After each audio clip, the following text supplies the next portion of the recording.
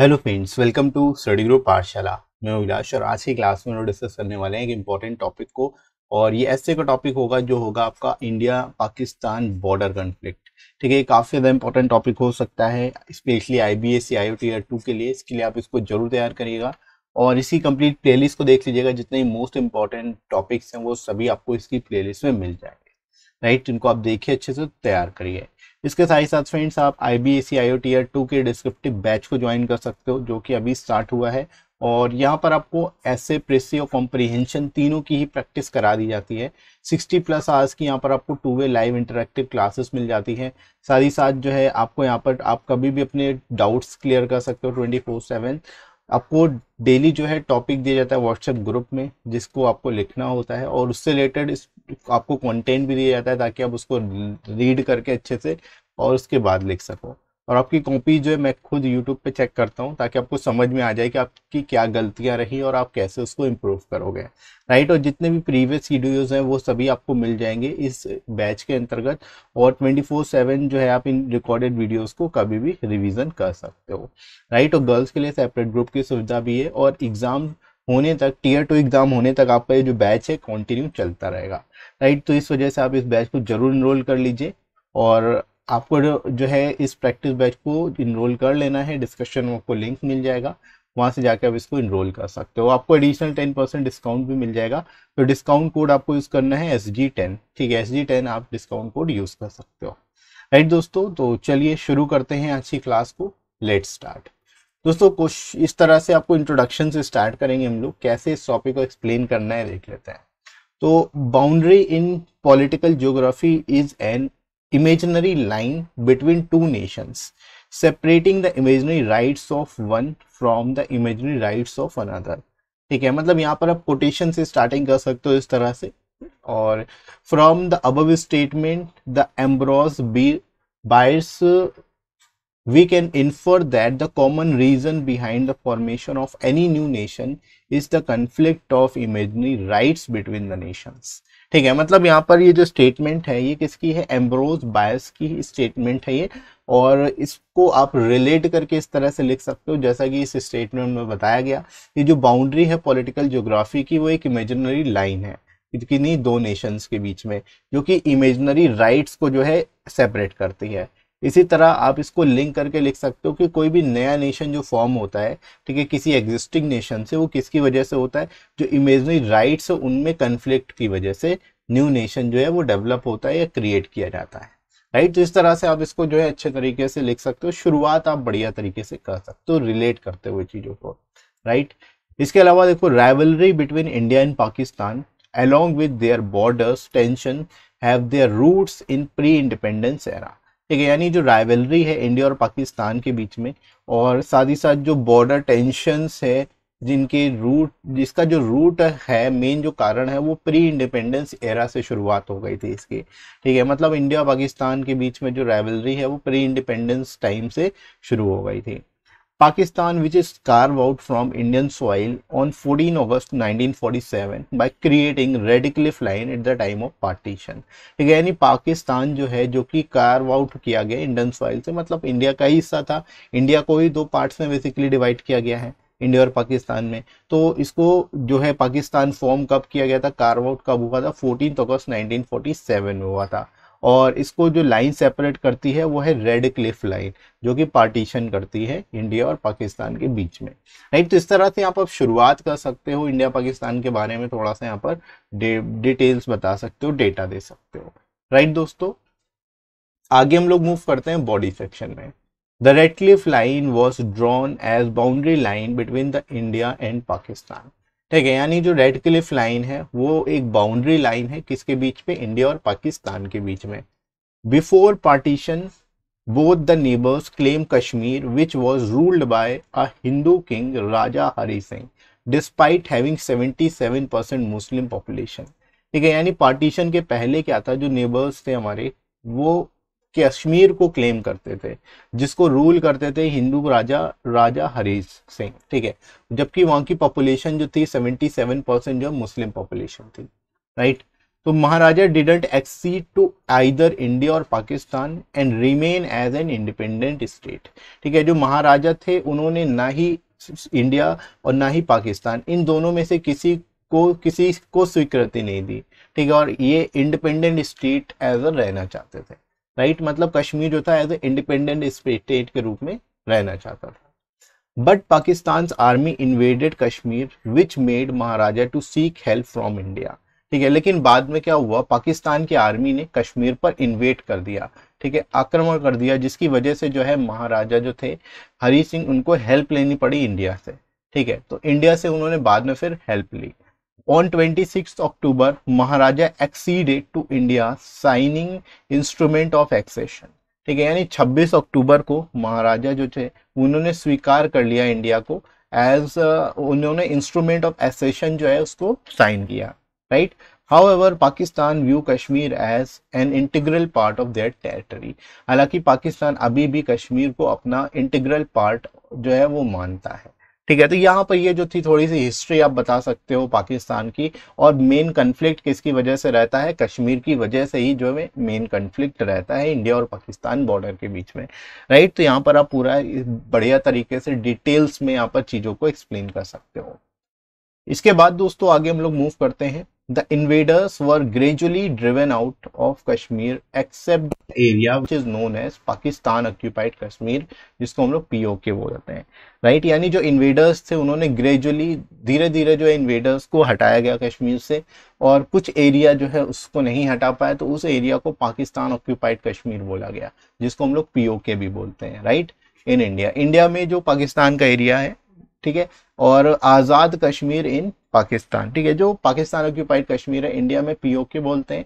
पाकिस्तान में इसको आज़ाद कश्मीर बोला जाता है right since then the de facto borders have been altercations in the path of friendly relations between both ठीक है? यानी तभी से जो है, जो इन पाकिस्तान का मुद्दा है, उसको लेकर के ही कन्फ्लिक्ट जो है अल्टरकेशंस जो है, मतभेद जो है, वो बने रहे और तभी से जो है जो इसको लेकर के नए नए तरीके जो है पाकिस्तान अपनाता रहा है इन इंडिया से बेसिकली बदला लेने का है ना तो यहाँ पर इस तरह से जो है आप इसकी पूरी हिस्ट्री बता सकते हो बेस्ट तरीके से यहाँ पर आप इसको सिंपल लैंग्वेज में लिख सकते हो बहुत ज़्यादा डिफ़िकल्ट करके चीज़ों को बिल्कुल भी नहीं लिखना है right Since the formation, India and Pakistan involved in two major wars of 1947 and 1965. And a limited war of 1999 which is known as Kargil war ठीक है, अब यहाँ पर आप वॉर्स के बारे में बता सकते हो कि इंडिया और पाकिस्तान में बॉर्डर पर कौन कौन सी बेसिकली वॉर्स हुई। तो टू मेजर वॉर्स हुई 1947 और 1965 में, और जबकि एक लिमिटेड वॉर हुई 1999 में, जिसको हम लोग बोलते हैं कारगिल वॉर ठीक है तो यहाँ पर आप इस तरह से जो है इसके बारे में बता सकते हो बढ़िया तरीके से। इसके बाद देखो, इनको डिटेल्स में थोड़ा आपको बताना पड़ेगा, क्योंकि केवल बता देने से कि ये वॉर हुई, इससे काम नहीं चलेगा। थोड़ा सा डिटेल में बताना पड़ेगा कि क्यों हुई ये वॉर्स ठीक है? तो यहाँ पर आप आगे इसी को इलेबोरेट करोगे कि the war of 1947 was due to the fear of hand over Kashmir to India by Maharaja of Kashmir ठीक है? जो 1947 की वॉर थी, वो किसकी वजह से थी? वो फियर को लेकर के थी कि कश्मीर इंडिया के हाथों में ना चला जाए। इसको लेकर के इंडिया पाकिस्तान की वॉर हुई थी। Right?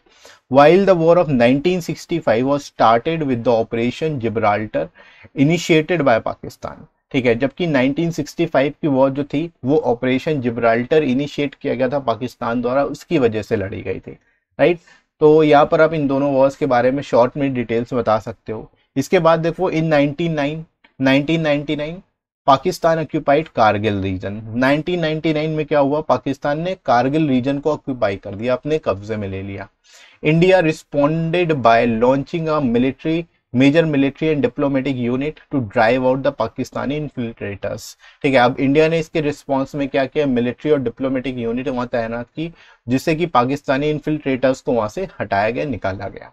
Right these two nations now share a boundary with total length of 3323 kilometre ठीक है यहाँ पर आप बता सकते हो जो नेशंस हैं, ये टोटल जो है 3323 किलोमीटर्स की बाउंड्री शेयर करते हैं, right? If we take geographical features into account, both areas contain the himalayas mountains and indus river. ठीक है, अगर ज्योग्राफिकल फीचर्स की बात करें तो दोनों ही एरिया चाहे इंडिया हो, चाहे पाकिस्तान, दोनों में हिमालयन माउंटेन्स आते हैं इंडस रिवर भी आती है। इसके साथ ही साथ यहाँ पर आप बता सकते हो कि there is an Indus water treaty that shows who to use the water available in the Indus river and its tributaries ठीक है, इसके साथ ही साथ वाटर इंडस वाटर ट्रीटी भी हुई है, जो कि ये दर्शाती है कि कौन जो है, जो वाटर है इंडस रिवर का, वो कौन किस तरह से उपयोग करेगा और उसकी जो ट्रिब्यूटरीज है, उससे कैसे लेगा। ठीक है तो यहाँ पर आप इस तरह से जो है बढ़िया तरीके से पूरा डिटेल में बता सकते हो चीज़ों को बेस्ट तरीके से। राइट? तो आई होप आपको समझ आ रहा होगा कैसे इसको आपको लिखना है को। इसके बाद दोस्तों आगे हम लोग बढ़ते हैं। As a recent attack was Pulwama attack on fourteen February two thousand nineteen the aftermath of this attack was scrapping article three seventy and thirty five A which reconstituted the state into two union territories, Jammu and Kashmir and Ladakh. ठीक है, जो recent attack हुआ, Pulwama attack जो 14 फरवरी 2019 को हुआ, इसका परिणाम क्या हुआ? इसकी वजह से ही जो है आर्टिकल 370 को हटाया गया 335 ए को भी जम्मू एंड कश्मीर से हटा दिया गया और इसकी जगह पे जो स्टेट है, उसको दो यूनियन टेरिटरीज में बांट दिया गया, जम्मू एंड कश्मीर और लद्दाख में राइट तो ये एक तरह से आफ्टर मैथ था जो पुलवामा अटैक है, उसकी वजह से राइट तो यहाँ पर आप काफ़ी अच्छे से डिटेल में बता सकते हो, चीज़ों को लिंक करते हुए राइट इसके बाद देखो the amendment broad changes to land ownership अब देखो जो ये आर्टिकल 35 ए हटाया गया है, ठीक है आर्टिकल 35 370 जो हटाया गया और 35 ए जो हटाया गया, उसकी वजह से क्या हुआ? इसमें, जम्मू एंड कश्मीर में कई सारी चेंजेस हुए, जैसे कि लैंड ओनरशिप राइट्स को लेकर के बदलाव आए, साथ ही साथ preferential treatment for the people of the state in jobs and education education and jobs case case में भी बदलाव किए गए, ठीक है, ताकि जो है यहाँ की इकोनॉमी ग्रो कर सके और डेवलप हो सके right the US show an interest in insuring regional stability preventing nuclear weapon proliferation and maximising the potential of nuclear war between India and Pakistan यहाँ पर आप यही बता सकते हो यूएस जो एक तरह से इंटरेस्ट शो कर रहा है इस चीज़ को लेकर के कि ताकि रीजनल स्टेबिलिटी बनी रहे साथ ही साथ न्यूक्लियर वेपन प्रोलिफरेशन ना हो और minimising the potential of nuclear war यानी न्यूक्लियर वॉर की स्थिति भी ना बने इंडिया और पाकिस्तान के बीच में। इस वजह से यूएस जो है मीडिएट कर रहा है दोनों के बीच में। राइट तो इस तरह से यहाँ पर जो है आप बेस्ट तरीके से लिख सकते हो इस टॉपिक को।